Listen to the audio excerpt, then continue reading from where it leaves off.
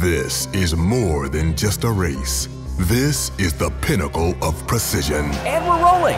Prim with a slow start out of the gate, and it is Speedy breezing by from second into first place. The ultimate test of speed and strategy. It just goes to show you a momentary lapse can cause a huge swing in the race. One wrong move can be the difference between becoming history. We have a yellow flag and a major incident, a disaster here at the Razway. Oh, and look at this. Speedy is off the track and is jammed in the guide.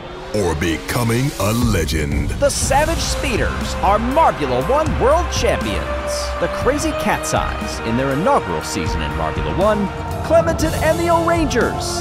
The Savage Speeders. They've done it. Let's get ready to roll.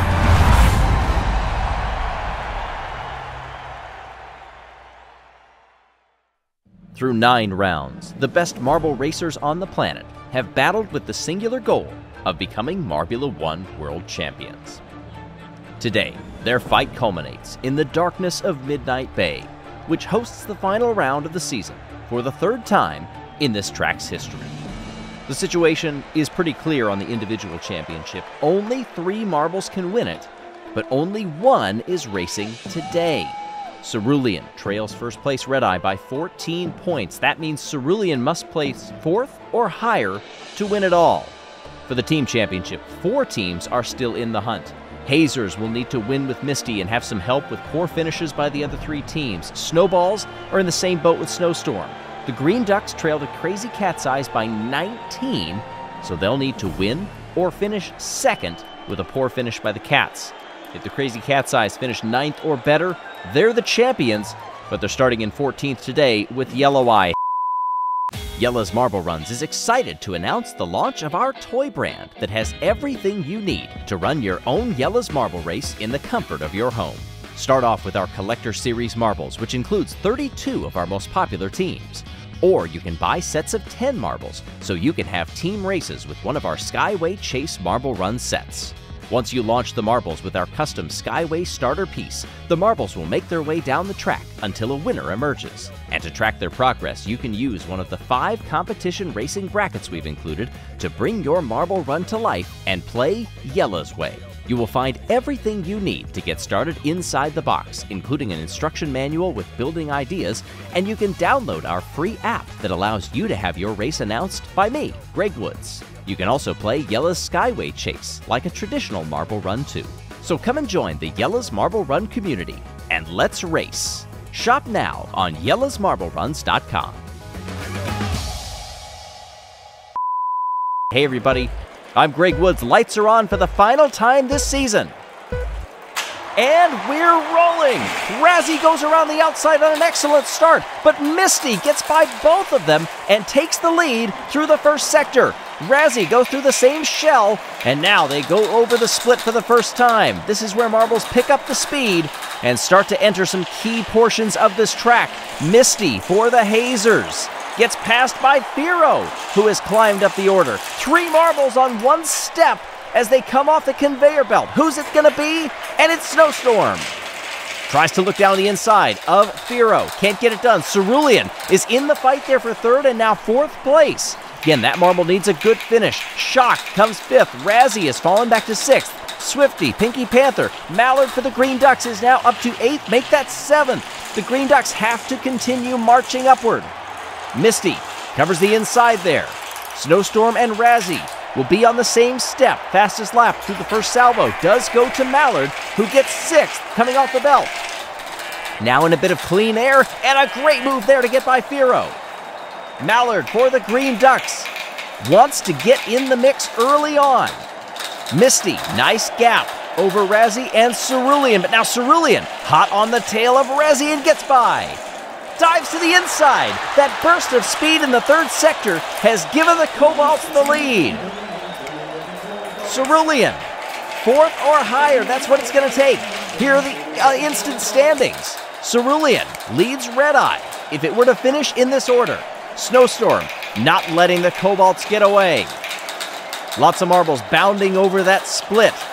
Very few are taking the curves as they are intended. Through lap number four, half a second lead for Cerulean over Snowstorm, Misty, Firo, Razzie, Mallard in sixth. Swifty, Quasar, Shock, and Pinky Panther rounding out the top 10. Yellow Eye has fallen to 12th for the Crazy Cat's Eyes. Cerulean losing that lead. Now it's a three marble battle. Snowstorm and Misty are both right in there. And then it's Firo.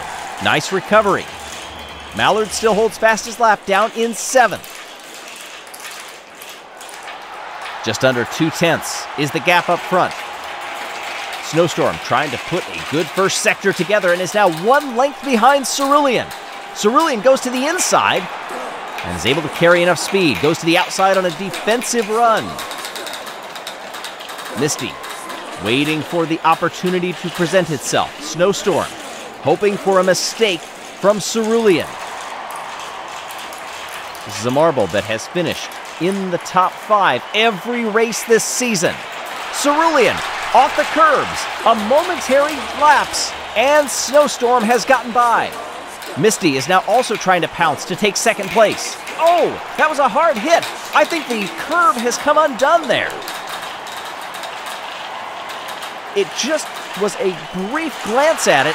Cerulean has recovered, but I think that curb has moved.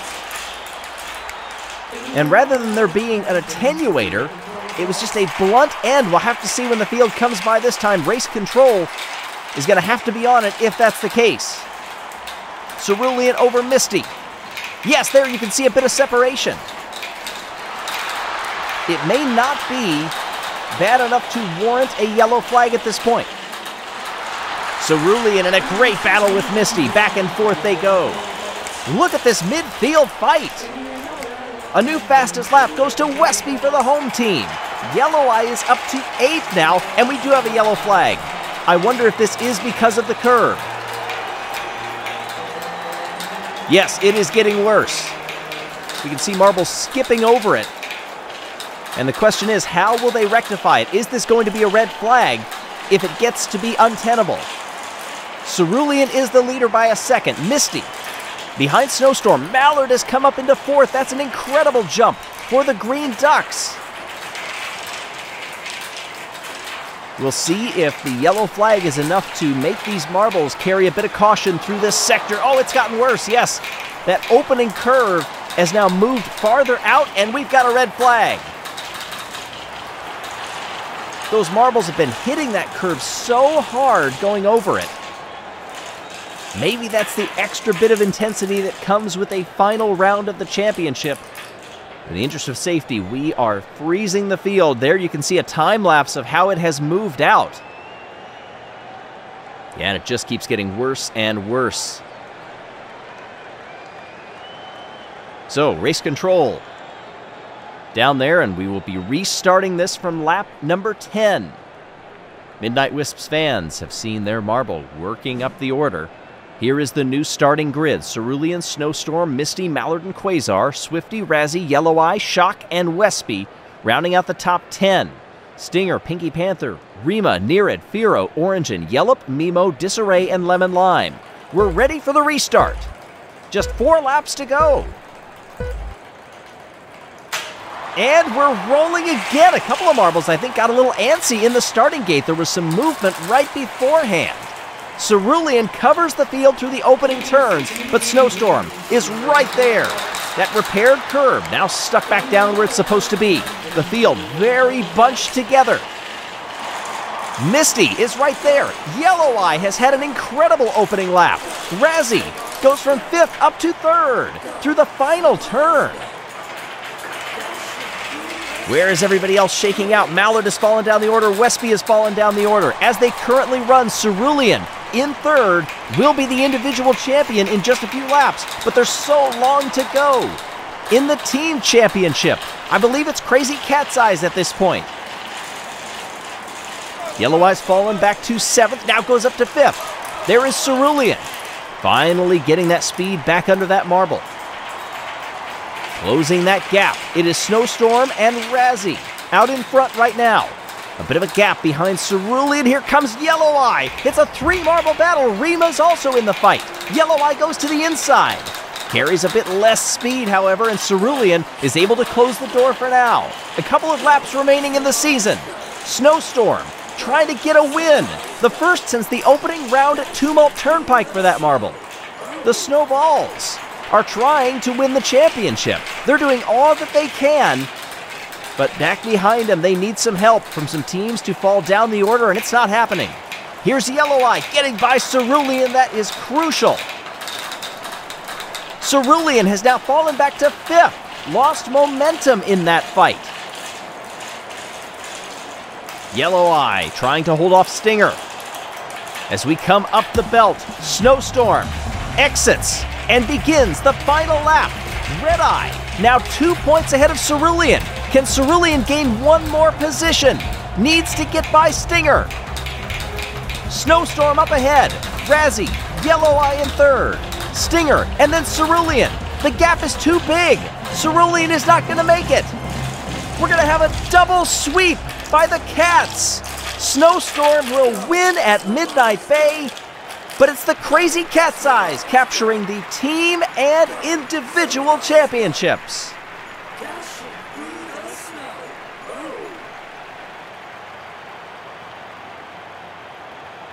Yellow Eye got fastest lap and nets 21 points and finishes in second place. Cerulean lost one more position by the end of that final lap and finished down in sixth, needed to be up in fourth or higher.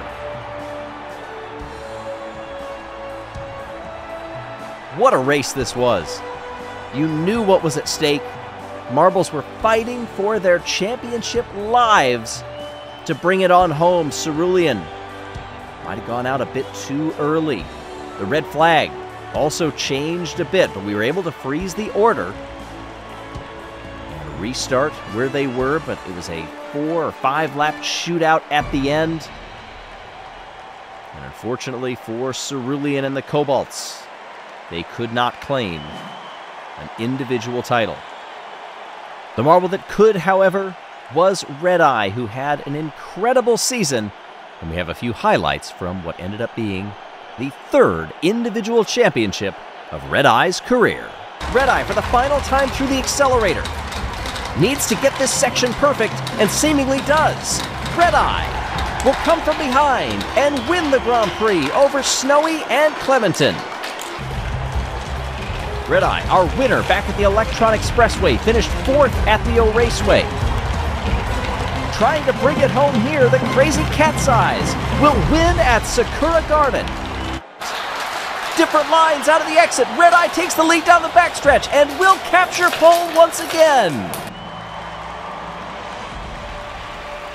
Red Eye, our individual champion, stands atop the podium next to Cerulean, our runner up, and Snowy, third place for season five here in Marbula 1.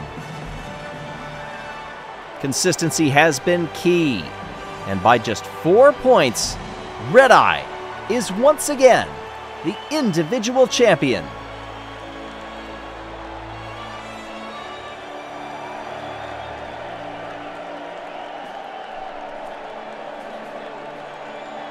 There you see the finishing order for everyone. Only Arrow did not score on this season. That is a rarity, however. Looking at the team championship, it too belongs to the Cats. Congratulations! Crazy Cat's Eyes Snowballs are our runners up this season. Hazers can celebrate on the third step of the podium as well.